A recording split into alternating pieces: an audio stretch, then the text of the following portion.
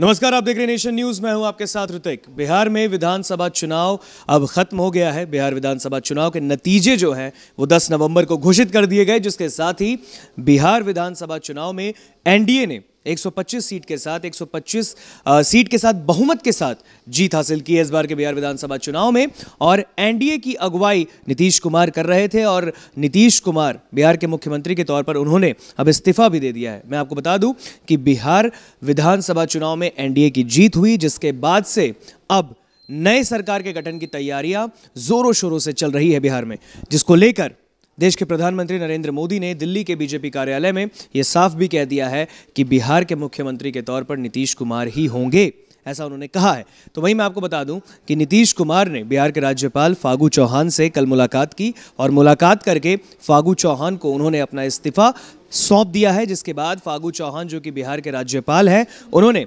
नीतीश कुमार का इस्तीफा मंजूर भी कर लिया, स्वीकार कर लिया, जिसके बाद नीतीश कुमार जो है वो अब मुख्यमंत्री पद से उन्होंने इस्तीफा दे दिया है। तो अब नए सरकार की गठन की तैयारी है, जो बिहार में चल रही है, जोरों शोरों से चल रही है, जिसको लेकर पंद्रह नवंबर को, यानी कल विधायक दल की बैठक होनी है एनडीए के विधायक दल की तमाम जो विधायक होंगे उस दल की बैठक होनी है कल साढ़े बारह बजे जिसको लेकर मुख्यमंत्री नीतीश कुमार ने अपने आवास एक अणे मार्ग में कहा भी था कि 15 नवंबर को कई बड़े अहम फैसले लिए जाएँगे और कल ही ये भी फैसला लिया जाएगा कि बिहार के मुख्यमंत्री के तौर पर कौन उस सीट पर बैठेगा उस कुर्सी पर बैठेगा लेकिन अब तक का जो फाइनल नाम है वो नीतीश कुमार के नाम पर ही मोहर लगा हुआ है जिसके चलते नीतीश कुमार ने अपने अ, अपना इस्तीफा जो उन्होंने फागू चौहान को सौंप भी दिया है, जिसके बाद अब नीतीश कुमार 15 नवंबर को एनडीए की विधायक दल की बैठक होने वाली है, उसमें कई बड़े अहम फैसले होने वाले हैं। तो कल ही अब पता चल रहा है कि बिहार में अगला सीएम कौन बनेगा। लेकिन अब तक जो रिपोर्ट्स हमारे पास आई हैं, उसको अगर हम देखें, उसको हम, उसके नज़र में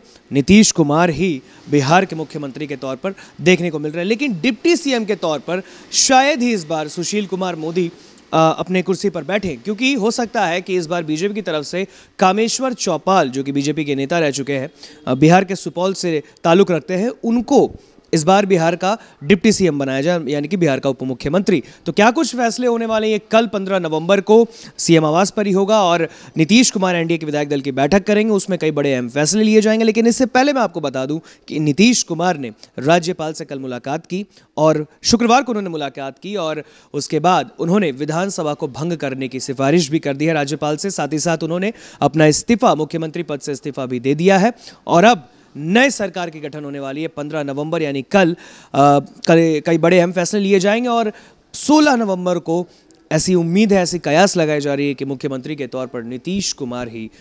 फिर से बिहार के मुख्यमंत्री के तौर पर शपथ लेंगे। क्या कुछ होगा? कल 15 नवंबर। इंतज़ार कीजिए, कल ही बहुत बड़े फैसले बिहार विधानसभा चुनाव के लेकर आने वाले हैं और नतीजे घोषित हो गए हैं तो अब जो नई सरकार को लेकर फैसले आने वाले हैं, वो कल ही होगा 15 नवंबर को। तो फ़िलहाल के लिए मुझे दीजिए इजाज़त, देखते रहे नेशन न्यूज़। धन्यवाद।